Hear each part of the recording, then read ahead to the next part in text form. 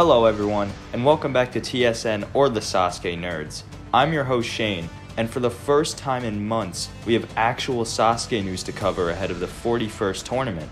Some of it is exciting, while other parts are a little worrisome, to say the least. With that said, let's get right into the details.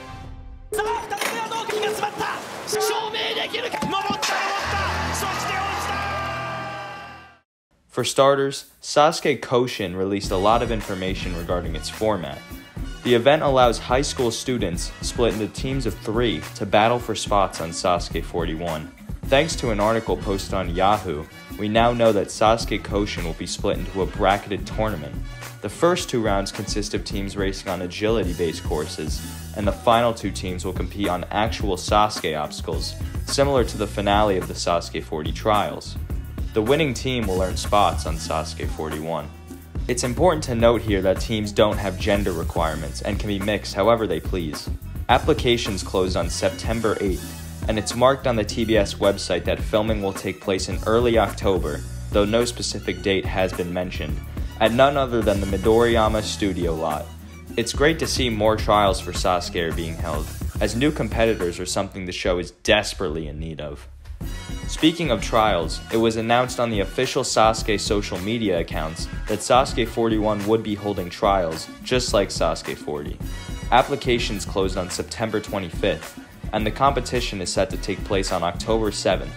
While no other information has come out, it's interesting to see that ANW competitor Donovan Metoyer, who recently went to Japan for an exhibition event in Japan, recently posted himself studying the trials for Sasuke 40, possibly hinting that he'll be participating.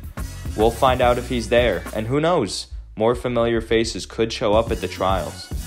The trials are going to be super important moving forward, as Sasuke may have also lost some of its most popular competitors.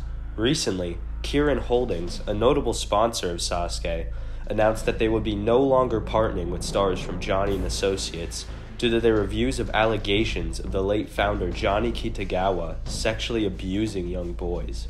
While none of the Johnny stars on Sasuke are under question for being criminals, this does put Sasuke in an interesting spot. Either they keep the sponsor that's been hanging their banner on the final stage for years, or they keep the likes of Hikaru Iwamoto, Ryoichi Tsukada, Rene Sugeta, and Hideki Ijima.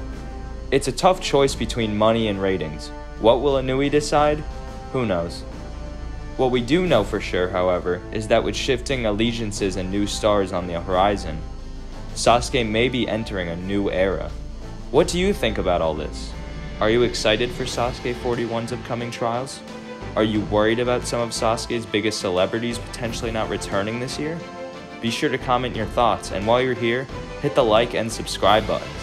Thanks so much for watching. We'll see you next time on TSN.